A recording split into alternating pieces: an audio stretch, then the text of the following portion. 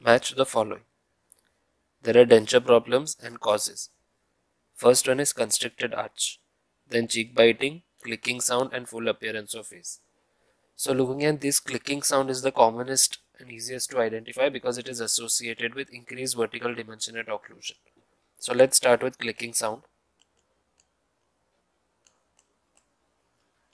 Now imagine that teeth are nearly very close to each other at rest and there is freeway space which is always maintained. If this freeway space is not maintained, then the teeth will touch each other. So why would this freeway space be not maintained? It is because of the teeth are very close to each other. That is because of increased vertical dimension at occlusion. So C, the answer should be 1. Then coming to cheek bite. Cheek bite, one of the reason is increased vertical dimension. That is why the cheek get entrapped.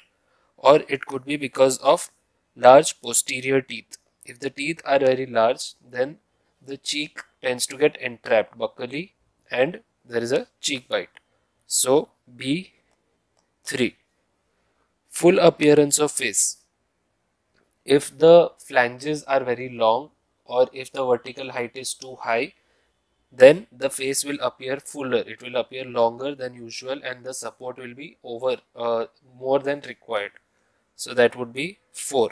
That leaves us with A constricted arch. So constricted arch could be because the teeth are positioned too lingually or because the teeth size is not correct or there is not enough space for the tongue. Okay.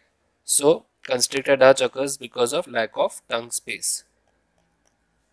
So that gives us A2, B3, C1 and D4. A2, B3, C1 and D4 that is option number 2.